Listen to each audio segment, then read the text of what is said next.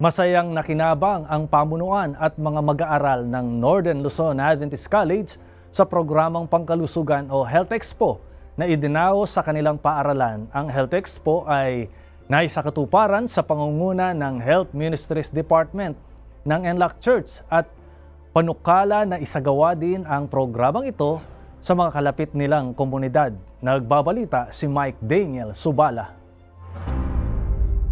Healthy. Beneficial. Fantastic! I will go with the healthy glow.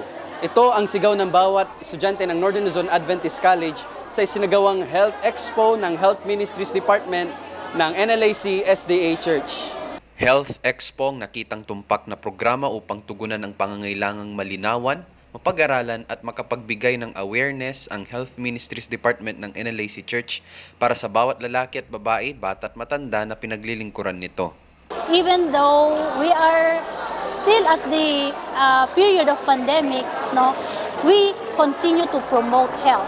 Pangunahing tagapagsalita ay si Dr. Salvador Rodrigo. Sa kanyang mensahe, kanyang idiniin na I want to impart to them a life na naglilingkod sa Panginoon, number one, and a life na kahit tatagal ang buhay nila, ay they have a quality of life na hindi, wala pong masyadong sakit, walang nararamdaman na hindi maganda sa kanilang pangatawan. lubos namang kinatuwa ng mga student nurse ang nangyaring karanasan ng paglilingkod.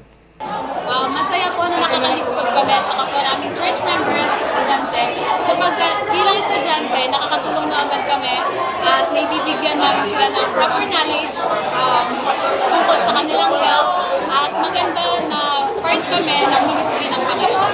Isa po sa mga aims ng ating School of Nursing at vision ng ating School of Nursing ay maging missionary-minded po. Inaasahan naman na magpapatuloy ang nasabing programa. At pagkatapos nito, lalabas naman po sila upang sa ganun ay maihanda naman yung mga maging malusog naman ang mga komunidad.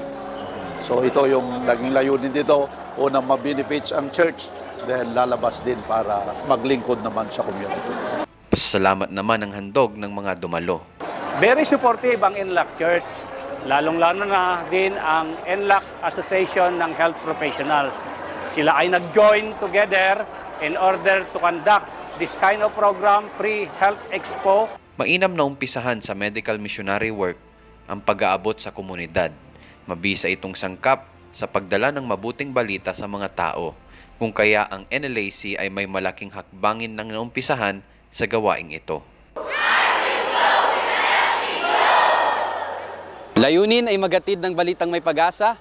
Mike Daniel Subala para sa Hope Today, NPUC News.